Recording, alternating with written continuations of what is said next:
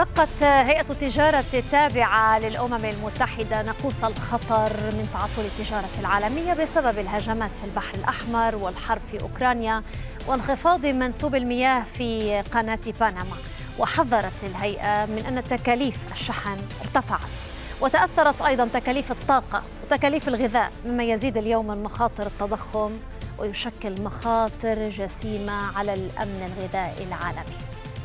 ضيفي من لندن للحديث عن هذا الموضوع أستاذ الاقتصاد السياسي ناصر قلاوون أستاذ ناصر أهلا بك معنا دائما في غرفة الأخبار. أين نحن يا أستاذ ناصر من هذه الأزمة العالمية التي تحذر هيئة التجارة منها؟ يعني استمعنا خلال المئة يوم اللي مضوا من هذه الحرب إلى الكثير من التحذيرات. أين نحن اليوم حقيقةً؟ أقول نعم تحذيرات لكن ما يشفع أن أسعار الطاقة النفط والغاز لم ترتفع كما كنا نخشى. هذا رقم واحد. لأن بقية الأمور ارتفعت.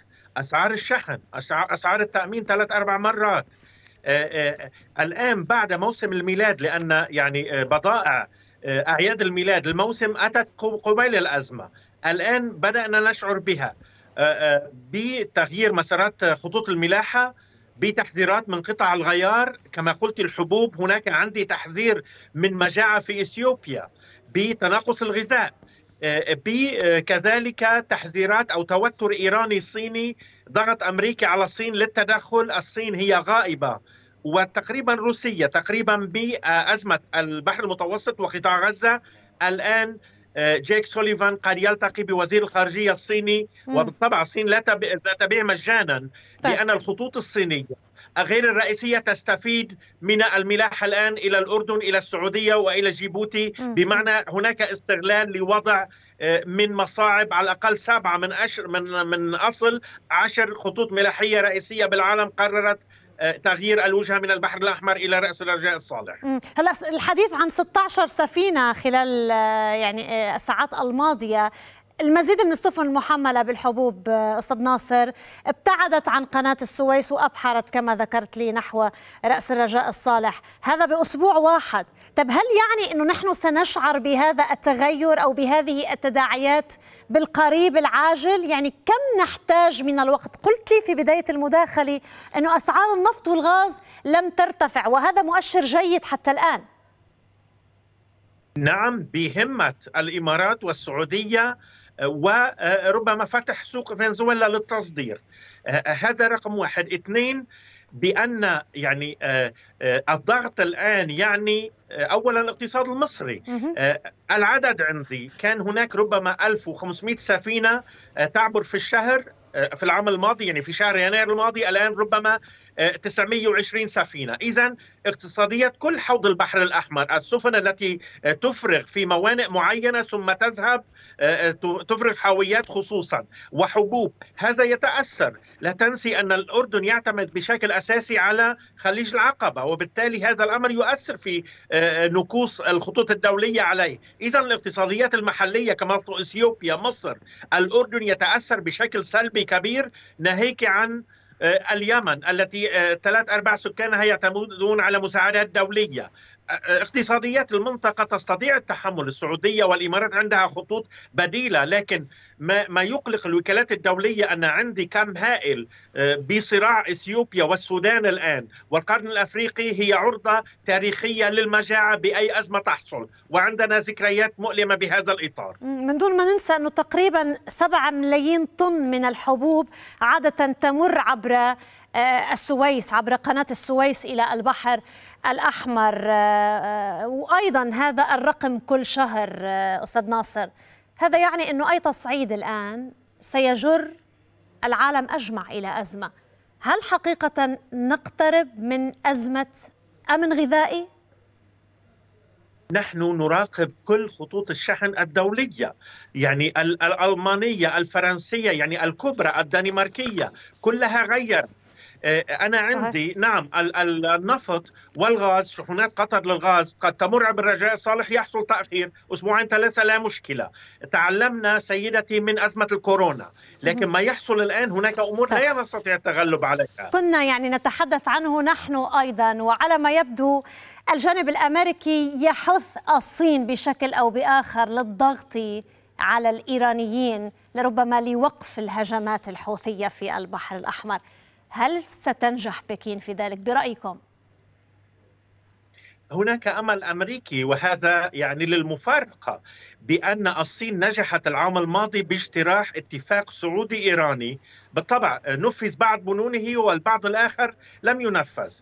لكن آه، آه، بمعنى آه، افتقار الولايات المتحدة للخيارات الإيجابية هي تدعم إسرائيل 100% من أول يوم بحرب. لكن تريد من حلفاء إيران مثل روسيا يعني بطريقة غير مباشرة لكن الصين حتى تضغط على روسيا لوقف أوكرانيا نزيف أوكرانيا ولا إيران، هل هذا مجاني؟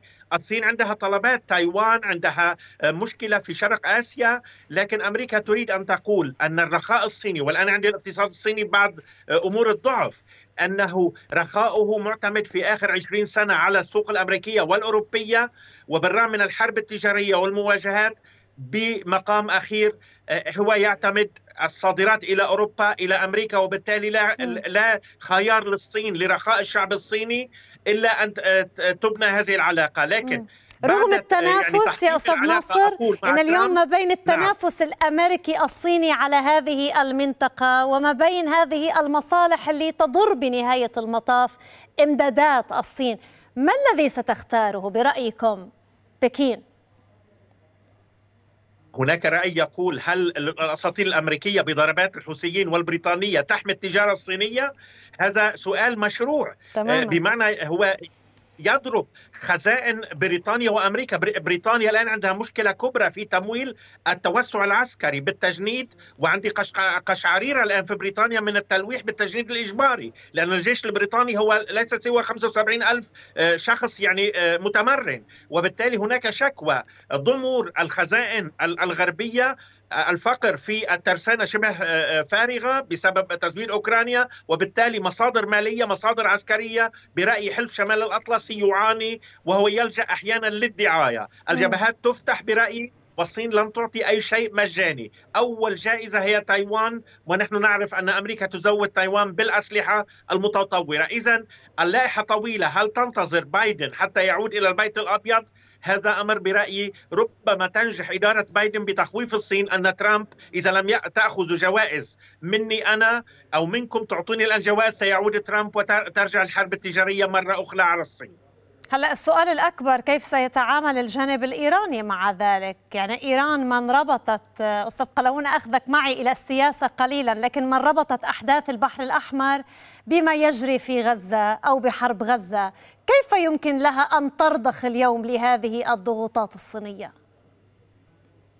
أنا لا أخفي شيئا إذا قلت أن إيران كانت في موقع الدفاع منذ حرب غزة ونفضت آه، يديها من الأمور يعني العملاتية لكن آه، آه، افتقارها بمعنى الشارع العربي والإسلامي أنها لم تتدخل كما وعدت سابقا عبر حلفائها جعلها تلعب ورقة الحوثي لأن اليمن كما تعلمين عنده كارثة إنسانية وبالتالي هذا الأمر ليس له بمعنى فواتير كبرى كضرب جنوب لبنان ونحن نعلم الأمور الأمريكية. إذا إيران رأت أنها استفادت من هذا الأمر بضرب التجارة العالمية بدون أن يعني بمعنى توسخ يديها عمليا. الآن برأيي هو عمليات بيع وشراء ونحن نعلم في العالم الغربي أن يقولون عن الإيراني أنه تاجر السجاد يحيك السجاد. لكن هناك ضحايا هناك عمليات متبادلة مع إسرائيل في العراق في لبنان. هل تنتظر هذه الأمور للبيع والشراء؟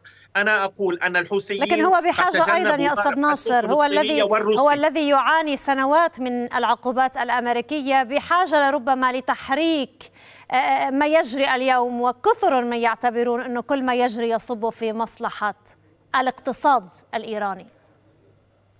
صحيح وهناك كان توتر حتى إيراني صيني مؤخرا بأمور معينة لها علاقة بالنفط بأسعار النفط قصدي. لكن لا أقول هناك رأي عام يقول أن لا لا يمكن أن نقول أن الصين ممكن أن تضرب علاقتها مع إيران بالرغم أن الأرقام تعطيني تراجع في حجم التجارة البينية بينهما.